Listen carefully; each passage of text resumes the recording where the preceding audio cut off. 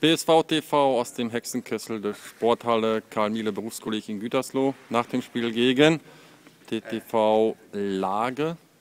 Ergebnis haben wir gerade gesehen. Björn Brust, unser Mannschaftskapitän, ein Fazit zum ja, emotional starken, aufwühlenden Spiel. War ein schönes Spiel, war ein zu klares Ergebnis. War endlich mal Stimmung.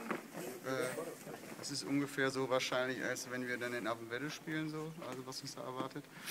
Ähm, nein, war ein gutes Spiel von allen wieder. Mannschaftsleitung, super. Ähm, ja, mehr kann ich dazu nicht sagen. Spitzenreiter weiterhin, alles gut.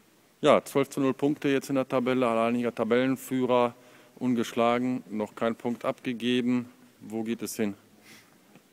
Ich hoffe, äh, noch eine Liga höher. Jetzt, das war jetzt der 51. Sieg in Folge.